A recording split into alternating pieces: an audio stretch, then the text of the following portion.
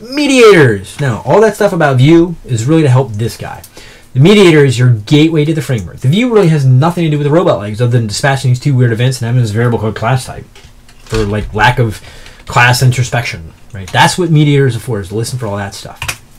The mediator is not really kinda the mediator pattern.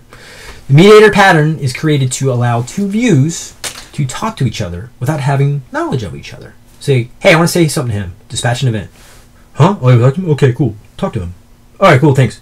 Talks back, right? The mediator is the the one who talks, right? So, for example, um, mi es gramática es muy pequeño, right? My my español, my knowledge of Spanish is very small. I don't know a lot of grammar. So I would use a mediator, someone who knows English and Spanish to talk to someone who is speaking only in Spanish, and vice versa. They would use that mediator to talk to me, right?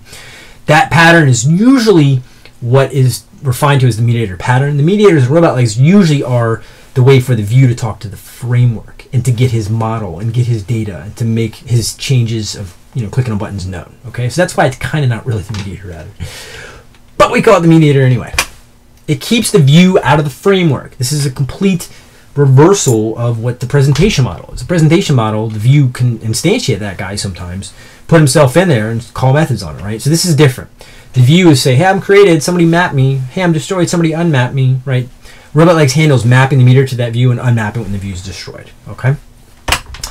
One view per mediator. You don't have multiple views per mediator. You have a mediator that represents a particular view, okay?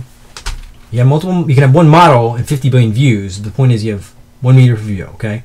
If your view gets too big and your meter gets too big, you're more than welcome to break your view out into little views and give them little mediators. That's fine too.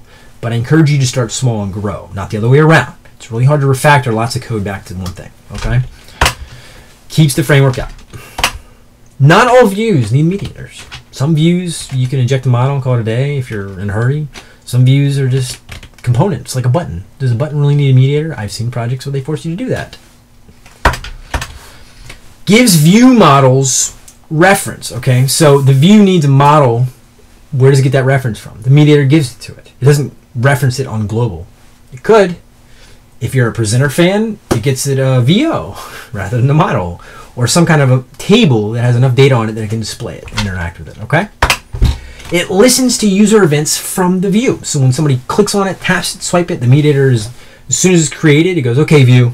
When these events happen, let me know." And then when it leaves, it unsubscribes from those events and goes, cool, peace out. Right? That's the mediator's job. Those two things. The requirements for a mediator are as follows. Two things. Number one, you have to define an onRegister method. The onRegister method is called when the view is created and it has a reference for you. Number two, when the view is removed and destroyed, you have an opportunity to remove your event listeners if you'd like and clean up your references and do other cleanups or things that are gone or let the user know they didn't save a form value or whatever, right? You can't really stop this yet. I haven't figured that out. Finally, it has a, a an instance to the view via self that view instance.